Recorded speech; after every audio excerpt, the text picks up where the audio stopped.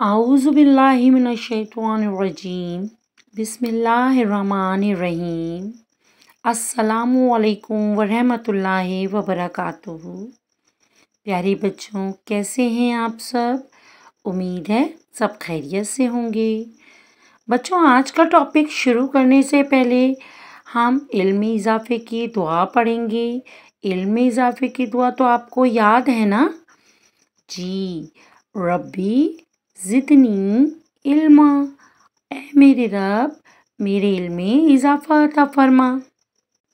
प्यारे बच्चों, आज जो सबक की हम पढ़ाई करेंगे और समझेंगे, उसका नंबर है ग्यारह। सबक का नाम है वज़ू, पेज नंबर थर्टी फोर इस सबक को पढ़ाने का मकसद ये है कि आपको वज़ू का तरीका सिखाया जाए और वज़ू की अहमियत बताई जाए। इन ताला इस सबक को पढ़ने के बाद आपको वज़ू करने के तरीके से आगाही होगी। प्यारे बच्चों, हम जानते हैं कि इस्लाम हमें सफ़ाई और पाकिजगी की हिदायत करता है। इस्लाम एक ऐसा मुकम्मल दीन है जो जिस्म की सफ़ाई को दीन का हिस्सा करार देता है। और ये तो आप सबको पता है कि नमाज़ से पहले वज़ू करना कितना ज़रूरी है। वज़ू करने का तरीक़ा हमारे प्यारे नबी हज़रत मोहम्मद सल्लल्लाहु अलैहि वसल्लम ने हमें सिखाया। आइए अब हम वज़ू का तरीका सीखते हैं। वज़ू शुरू करते वक्त बिस्मिल्लाहिर्रहमानिर्रहीम ज़रूर पढ़ना चाहिए। वज़ू में दायां वज़ू धोना पहले ज़रूरी है। सबसे पहले हम अपने हाथों को कलाइयों तक तीन बार अच्छी तरह धोएँगे।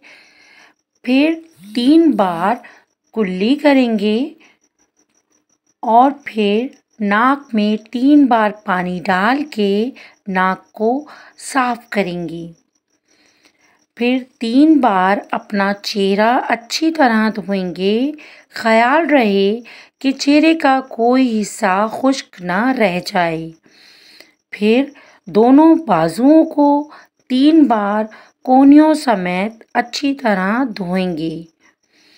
फिर हाथ गीले करके सुन्नत नबी के मुताबिक एक दफ़ा सर का मसा करेंगे। फिर दोनों कानों का मसा करेंगे अंदर और बाहर से।